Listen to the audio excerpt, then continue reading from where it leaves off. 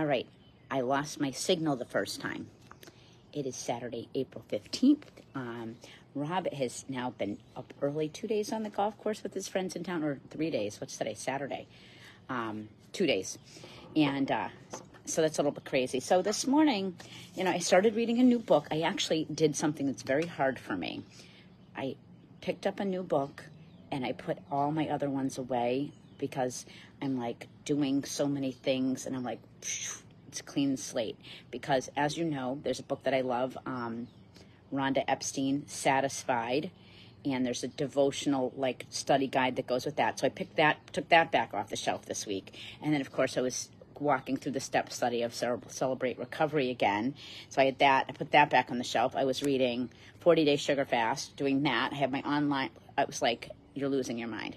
So I started reading a new book, Get Out of Your Head by Jennie Allen. So far, so good. So far, I'm still in my head, but I'm only in the beginning.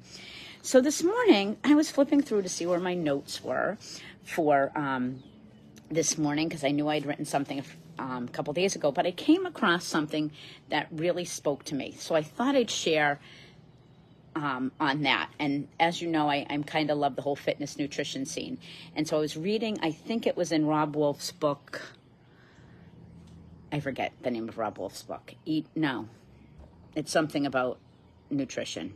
Anyway, Robb Wolf, he paleo guy. And I believe it was in that book and he says artificial sweeteners are the gateway to drugs. So it's talking about eating clean, taking all the junk out of your diet. And I'm like, "Ooh, that's not only true for nutrition, that's true for life. Like when we seek the fake thing, the artificial thing, then we're opening ourselves to others. So lots of times when you you go to you're you're trying to not eat gluten. So you try to you start eating going to the store and buying gluten-free pizza crust or whatever and you don't realize how much garbage is in that. So we're seeking we're starting to we're just trying to get the other thing. My other my subtitle for this is looking for life in all the wrong places. So I just want to share quickly um, some references to places when we look the wrong way. My first is in 1 Kings 19. And in 1 Kings 19, some of you will know this. This is when Elijah, he's worn out, he's seeking the Lord. And in 1 Kings 19, we have this passage, and it says, um, But the Lord said to him, What are you doing here, Elijah? Elijah replied, I have zealously served the Lord God Almighty, but the people of Israel have broken their covenant with you, torn down your altars, and killed every one of your prophets. I am the only one left, and now they are trying to kill me too. Go out and stand before me on the mountain, the Lord told him. And as Elijah stood there, the Lord passed by, and a mighty windstorm hit the mountain.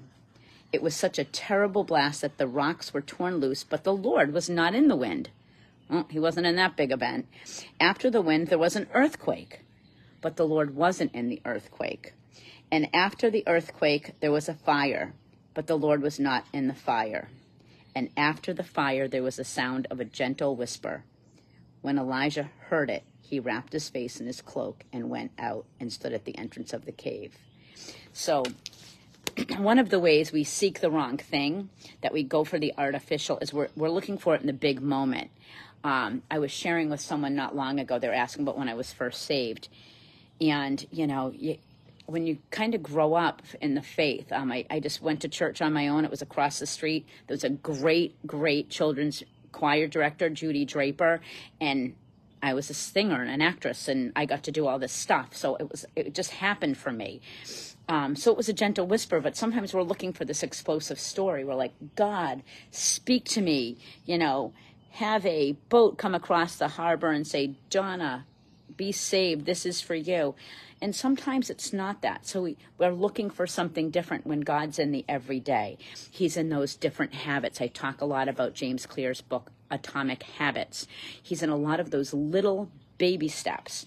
Okay, let's go to another one. Let's go to Luke. And you're all going to be familiar with this. Well, most of you, if you read the word. If you don't, well, good time to start.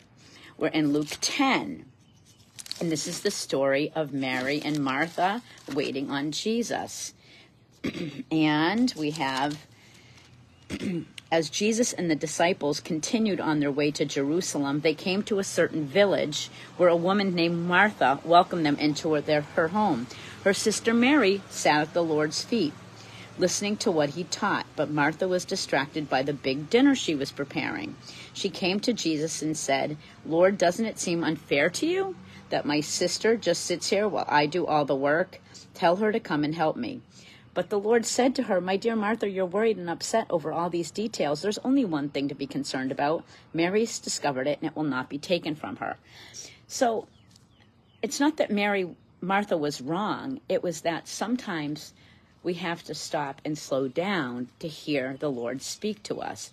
It's not in proving ourselves to the Lord and proving ourselves to neighbor. I am a good believer. I'm serving Jesus right now in my own kitchen. And can my sister? It's about meeting God where He is and and and seeking God in in His presence, not in the work. Um, in Mark 10, which we also talked about recently, we have the rich young ruler seeking um, God in all the wrong places. He's artificial sweeteners. He wants to use a formula. It's a fake way of getting. It's not. It says the scripture says there's one way, and it's through Jesus. It doesn't say there's one way, and that's through following the law the rich young ruler says, you know, how do I inherit eternal life? Don't testify falsely. You must not steal, cheat, honor your. Okay, I've done all those. I've met the checklist. It's like me with my Franklin Covey planner. Been there, done that. Been there, done that. There's still one thing you've done. Go and sell all your possessions. So we again, uh, Elijah expected a certain thing. Martha expected a certain thing. The rich young ruler expected a certain one thing. Those are artificial ways. Okay? It doesn't it's not that works are wrong, it's not that big things are wrong. It's that things are not always what they seem. We look for things in the wrong places. Good morning, John. Um, we're looking for God in the wrong ways. We're, we're, we're we have, you know, we hear somebody um, spoke you know, Jesus spoke to our friend at a MercyMe concert in a big way, and the angels were singing, and you've had this surreal experience. Well, maybe, but maybe not. Maybe you're walking down the street and you meet your elderly neighbor who is having trouble um, getting her mail out of her mailbox, and you have a word in a moment. It's not always what we think it is, okay? finally in numbers. Now this is the greatest thing ever. You know this is you know god has a sense of humor. You get to numbers 22 some of you will know what this is. I didn't know what the reference was but it's always a great thing. The story of balaam. So the story of balaam if you know the story of balaam um, you know, so the donkey, the next morning, Balaam got up, saddled his donkey, and started off to, with the Moabite officials. But God was angry that Balaam was going. So God, Balaam's doing his own thing. So he sent the angel of the Lord to stand in the road to block his way. Um, duh, you know, okay? As Balaam and two servants were riding along, Balaam's donkey saw the angel of the Lord standing in the road with a drawn sword in his hand. Even the donkey knows um, the donkey bolted off the road into a field, but Balaam beat it and turned it back into the road. Then the angel stood at a place where the road narrowed between two vineyard walls. When the donkey saw the angel of the Lord, it tried to squeeze by and crushed Balaam's foot against the wall. So Balaam beat the donkey again. Then the angel of the Lord moved farther down the road and stood in a place too narrow for the donkey to get by at all. This time, when the donkey saw the angel, it lay down under Balaam. In a fit of rage, Balaam bit the animal again with his staff. What? And the, then the Lord gave the donkey the ability to speak. This is like a Mr. Ed episode in the book of Numbers. What have I done that deserves you beating me three times? It asked Balaam. You've made me look like a fool. If I had a sword with me, I would kill you. I'm the same donkey you've ridden all your life, the donkey answered. Have I ever done anything like this before? Um, duh. Actually, he says no. Then the Lord opened Balaam's eyes and he saw the angel standing down in the roadway. And the angel says, Why did you beat your donkey three times? I've come to block your way because you are stubbornly resisting me. Three times the donkey saw me and shied away. Otherwise, I certainly would have killed you by time and spared the donkey. So there's so many times that we don't know how God is going to speak to us. And we have expectations that it's going to be a certain way. And not only do we have an expectation um, that it's going to be a certain way, we also want to pretend we know what He's going to say.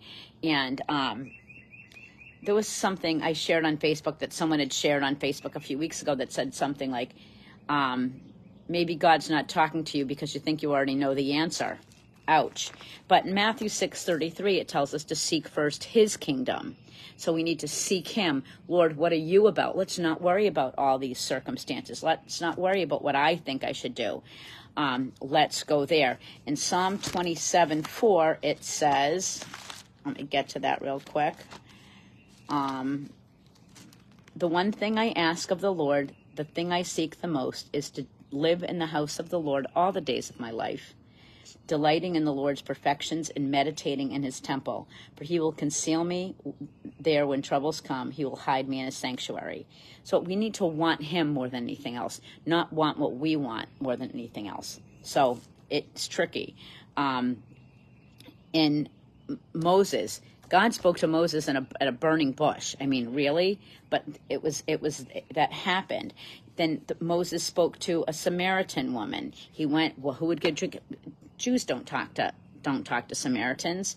Um, he used a Rahab, a prostitute, to save. You know, help the those who went in to scope out the land. And um, after Moses walked through the desert, they got there, and Joshua and Caleb led the people. And um, we our expectations are just not always what God puts out there for us. So don't look for those artificial sweeteners, those fake paths. Don't look for the right Bible study. Don't look for the right church that uh, says this is good and this is bad. Look for a place where God's Spirit dwells and confirms the Word of God in you. And don't, you know, don't try to fabricate that. Um, a little testimony here is, you know, we moved here basically we to Myrtle Beach area July 1st and then into our home mid August.